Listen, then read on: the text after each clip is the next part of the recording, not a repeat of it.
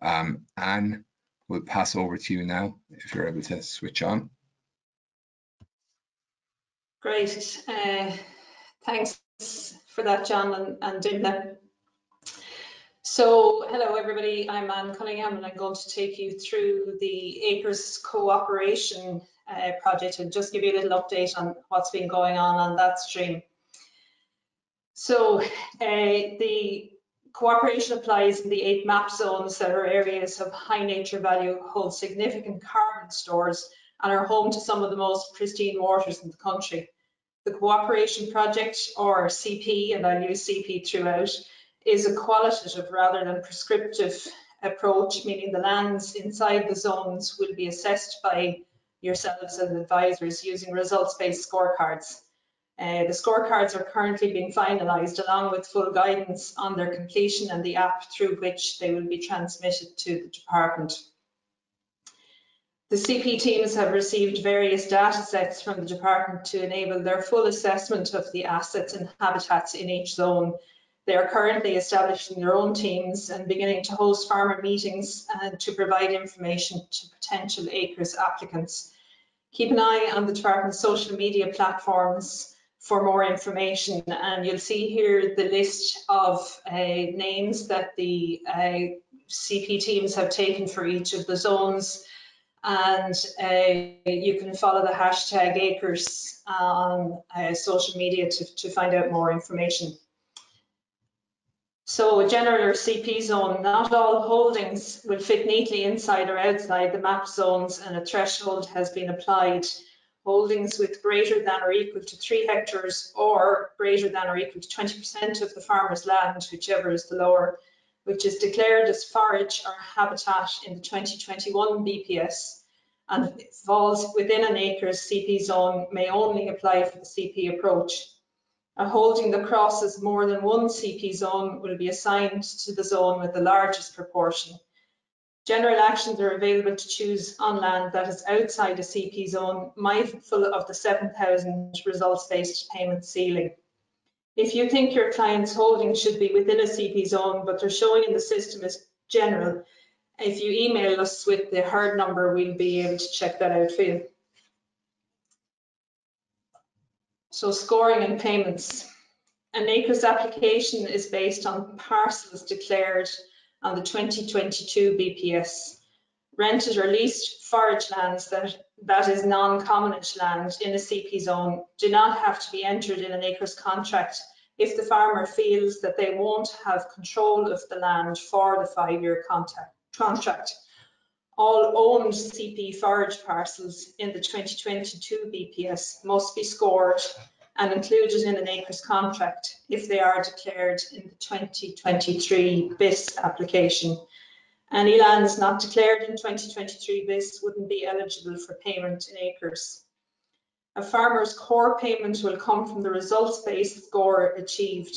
Early next year, the CP teams will identify and delineate fields and assign the appropriate scorecard for that habitat. Advisors will then score the lands during the summer. This year one score will provide the baseline for the five-year scheme. The fields will be scored again in years three and five. And where necessary, you know, the CP teams will be available to discuss habitats and the chosen scorecards. Results-based scoring is prioritised on lands in CP zones, but where a farmer cannot achieve the 7,000 ring fence for results-based scoring, there are options. Applicants can apply for three general actions on land within the CP zone that's the traditional dry stone wall maintenance, the conservation of rare breeds, or low emission slurry spreading. They can also apply for other general actions on any land they may have outside their CP zone. That is, uh, and it, it is open to them to carry out non-productive investments or landscape actions which may uh, enhance the scores achieved on their CP land. So some non-productive investments are landscape actions. Um, this is how a farmer can improve their score. The CP teams will provide local detailed expert advice on how to maintain and improve habitats at farm and landscape level through the provision of certain non-productive investments and or in bigger areas, landscape actions. The full list will be published shortly, but we have some examples here. So for NPIs, we have provision of water for livestock, grazing infrastructure, hedgerow rejuvenation, and then bigger landscape actions would be fire prevention, targeted water quality me measures, our participation uh, with common, commonage management groups. So this is where the collaboration between the farmer, you as the advisor and the local CP team will come into play, working together to improve habitat scores. So quick run through some timelines, some of which you'll already be familiar with. Um, the access agreement as you, facility, as you know, has been open since June. And uh, today, over 15,000 agreements have been completed for farmers within CP zones. Uh, you've been able to access maps for these farmers since August to help you prepare applications. And our IT colleagues tell us of the steady increase in draft applications since that was made available to approved advisors. The system will shortly be open to facilitate the submission of completed applications, but of course you're free to continue to draft applications in the meantime. The final date for the submission of completed applications will be mid-November and is to facilitate the digitising of any changes to parcels and the ranking and selection process, which will be completed mid in December. Then a few timelines into 2023. Uh, approvals will issue with contracts beginning from the 1st of January next year. And there's a few more important dates that I've already mentioned to deal with um, scorecards and that later on into the year. So where to find us? Well, Dim has already given us lots of information on where to find us, but you'll see on the department's front page the acres uh, link right beside the lovely picture. And then the full menu of options when you when you get to the next page.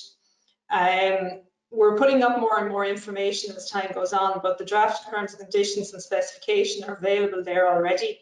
Uh, as John mentioned earlier, uh, there's FAQs and uh, webinar material. This webinar will also be going up um, in the coming days and more information will be added as we go along. And thank you very much. Thanks very much, Ann. Again, a, a, lot happening within the, the CP, the bounds of the CP areas. The CP teams are doing an awful lot of work over the last uh, number of months. Um, so we'll see a lot of further developments. As Ann mentioned, we will be releasing the, the list of draft NPI shortly together with landscape actions as well. That'll help provide more detail for farmers within these areas. And I guess the other one to be watching as well, depending on the area you're in, that CP teams are running a number of uh, local events to sort of inform farmers and advisors of what they're doing in their specific areas.